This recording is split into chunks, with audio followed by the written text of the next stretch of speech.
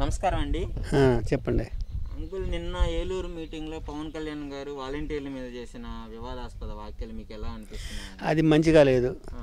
అంటే ఒక వాలంటీరు ఎలా పనిచేస్తున్నాడు గ్రామం మీ మాకు బాగానే పనిచేస్తున్నాడు మా వాలంటరీ.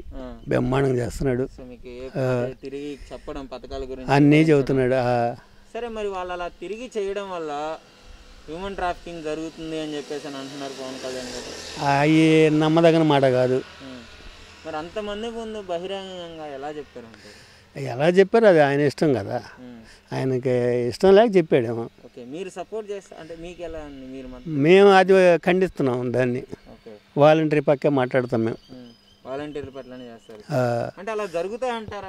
కష్టం అంతా ఇప్పుడు ఎక్కడన్నా పొరపాటున ఒకటి రెండు జరిగితే జరిగింది దేశం మీద మనకైతే తెలియదు కానీ అంతమంది ఎట్లా జరుగుతాయి?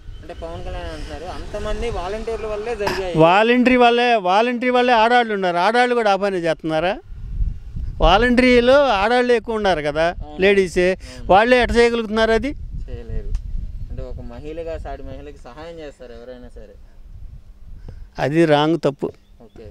సో ఆయన తీరు మీకు ఎలా అనిపిస్తుంది అలా మాట్లాడి? ఆ- మాటలు కాడ నచ్చలా మాకు ఒప్పుకోం.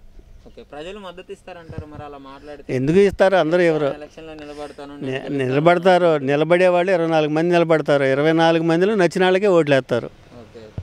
సో మీకు జగన్ గారి పరిపాలన ఎలా ఉంది? నెక్స్ట్ సీఎం అవుతాడు. అన్ని సీట్లు వచ్చినా రాబోని సీ సీఎం అవటం ఖాయమే.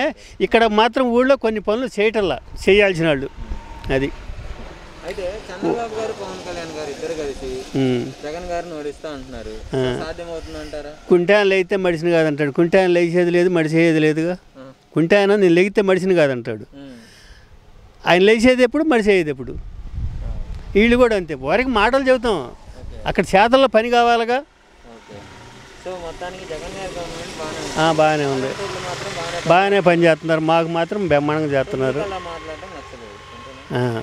అది అది పద్ధతి కాదు. ఓకే.